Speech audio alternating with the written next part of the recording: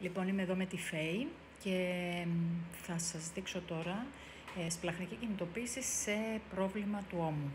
Μου, κούκλα τι συμβαίνει με το χέρι;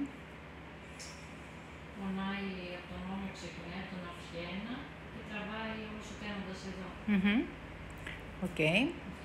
Όταν το σηκώνεις; Ε, τώρα δεν μπορώ τόσο. Κάναμε λίγο μια κινητοποίηση γι' αυτό.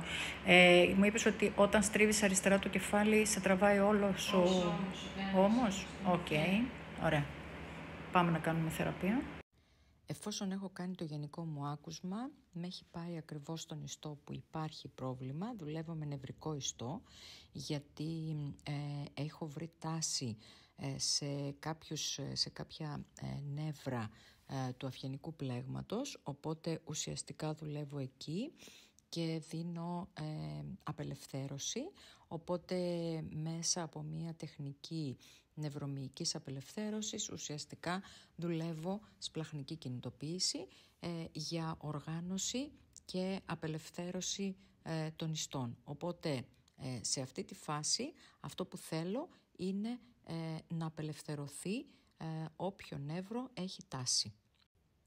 Πάντα δουλεύω σε επίπεδο σπλαχνικής κινητοποίησης, βρίσκω τα σημεία κλειδιά που έχουν τάση και ουσιαστικά αποδεσμεύω τον ιστό ε, και οτιδήποτε έχω δει ότι προκαλεί και δημιουργεί τάση ε, που φέρνει πόνο ε, σε αυτή την περιοχή.